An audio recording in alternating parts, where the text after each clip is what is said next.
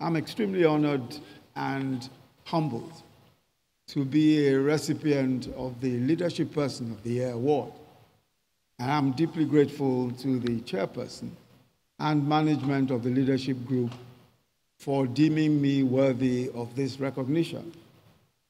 I'm also very privileged to share this award of Leadership Person of the Year with Dr. Ngozi Okonjo-Iweala, a globally affirmed finance and development expert and a true Nigerian patriot who is now Director General of the WTO. Every glass ceiling that she has broken, and there are many, has inspired girls and women all over the world to reach for the highest heights in all fields of human endeavor. The late Sam Nda Isaiah was a dogged achiever who stood for integrity in public life and embodied the finest traditions of Nigerian journalism.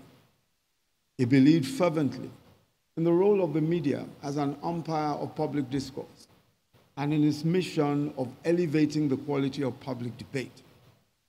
I'm gratified that the values he lived by continue to be ardently represented by this organization.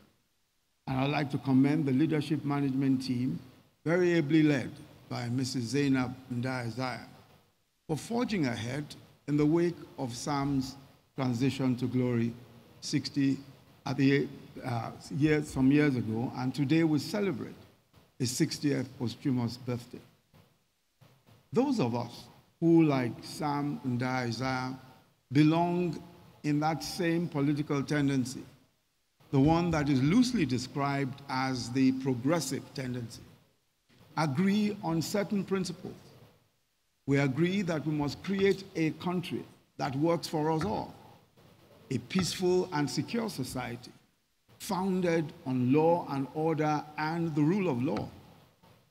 A society that enables commerce and values productivity so that large and small businesses can grow and provide jobs and opportunities for the millions of young people.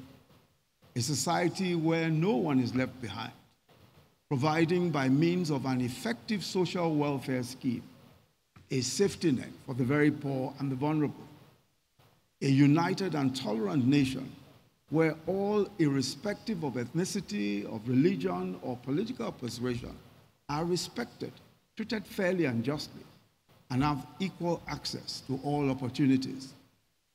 We agree that we must build a Nigeria where a boy or girl does not say that I'm from the southwest, or I'm from the northwest, or the south south, or the northeast, or the north central, or the southeast but that I am a Nigerian, a citizen of one of the greatest and most prosperous nations on earth.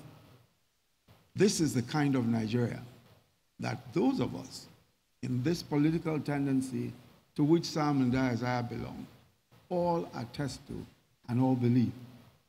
I therefore dedicate this award to the millions of Nigerians who believe in this new Nigeria and who retain faith in our possibilities as a people and are doing their best every day in their various corners to build this nation through honest endeavor. I dedicate it to these people of goodwill who are working hard to promote peace and tolerance and to build a country that truly represents all of our dreams. A country, those who are working hard to build bridges, those who have refused to be frustrated or even wearied by the trials of our country as it grows and continues to the fullness of its manifest destiny. I think that it is because of such Nigerians that despite the great challenges that we're passing through on our march of progress, that I'm certain that we will build this great Nigerian nation that we all yearn for. Once again, I thank the management of leadership for this award. And I congratulate all awardees for their very well-deserved recognition. Thank you very much.